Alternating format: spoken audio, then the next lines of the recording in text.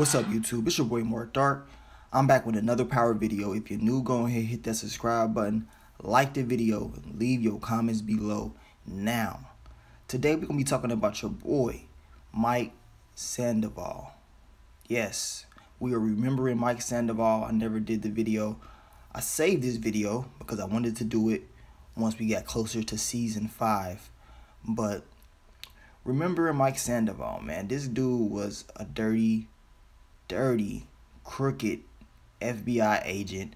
Um, and at times, man, at the beginning, he seemed like he was just, uh, you know, he seemed like a good person at first.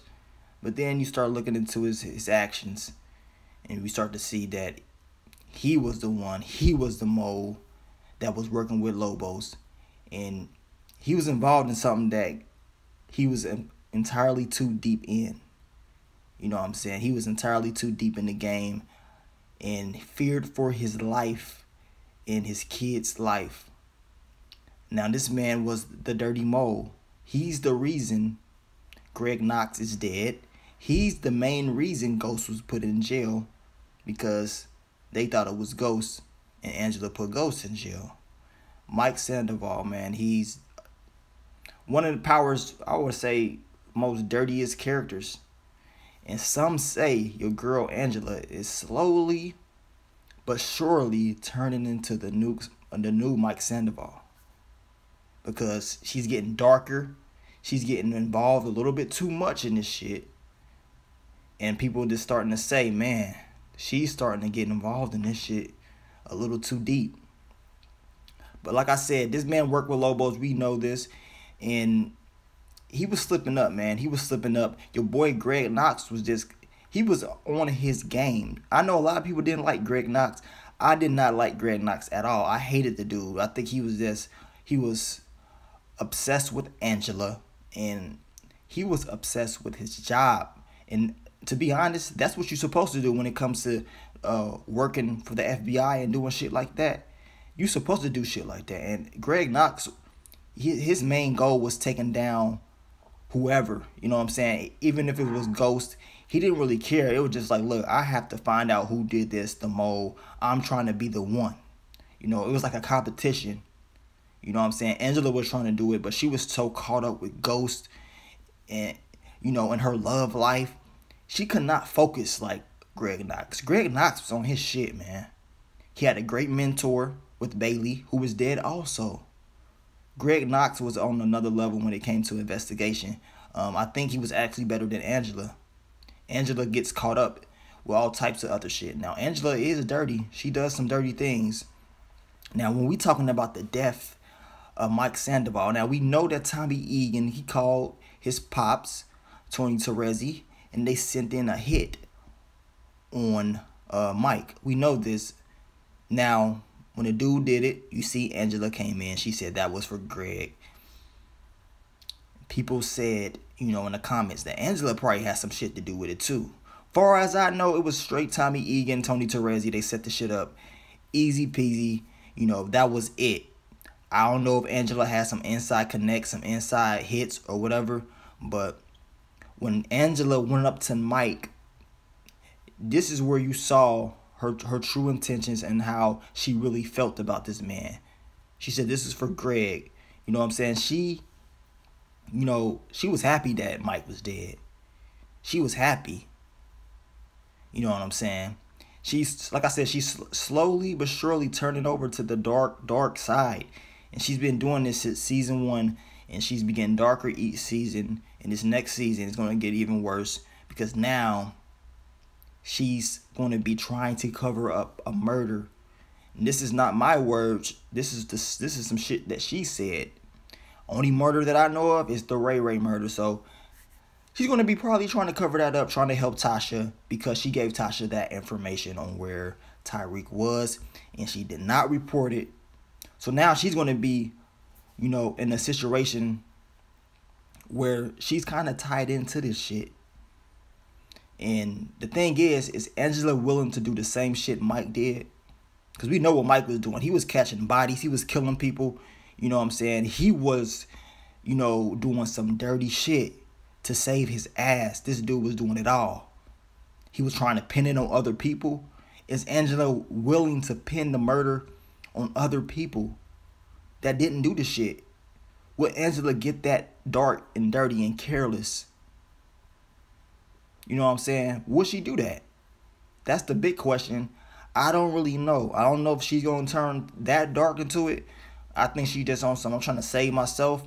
I don't know if she's gonna be on some Mike Sandoval shit. And you know, far as I'm about to start just turning on everybody.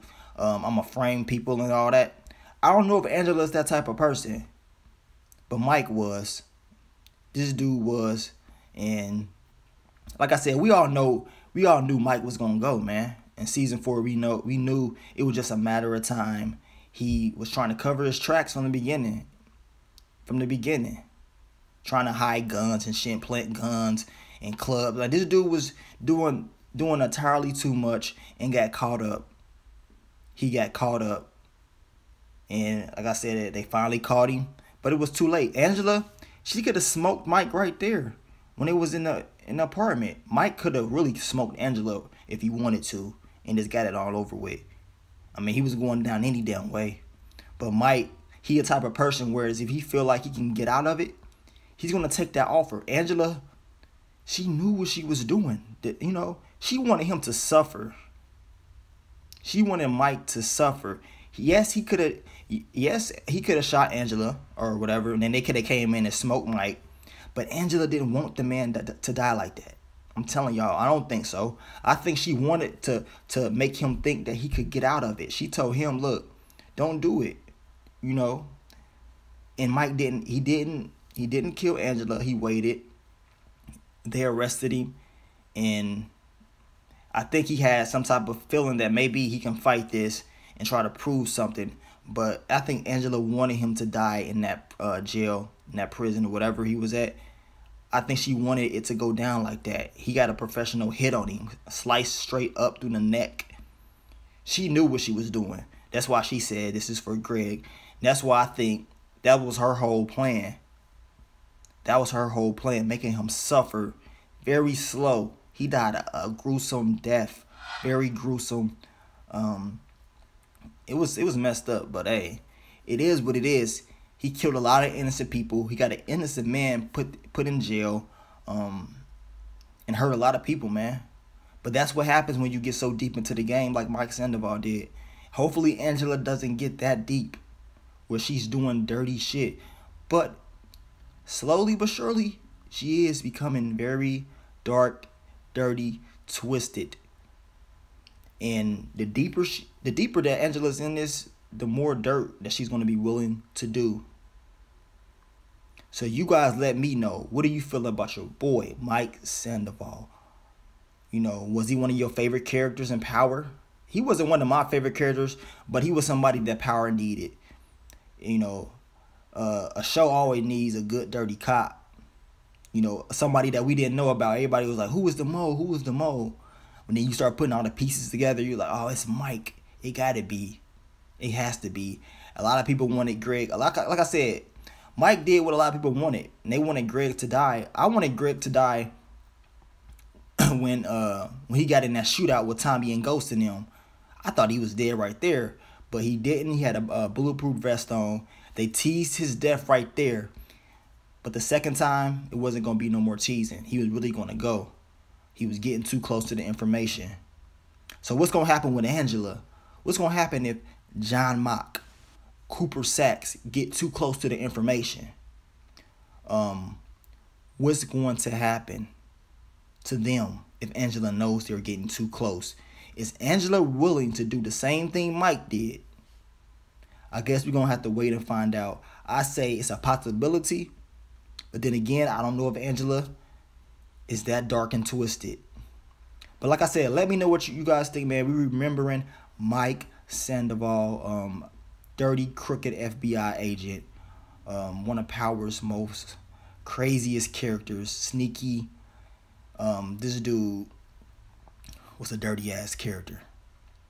But leave your comments below. Keep supporting your boy. And I'm going to continue to bring you more of these power videos coming soon. But I'm going to get on out of here, man. It's your boy Marc Dark. I'm out. Peace.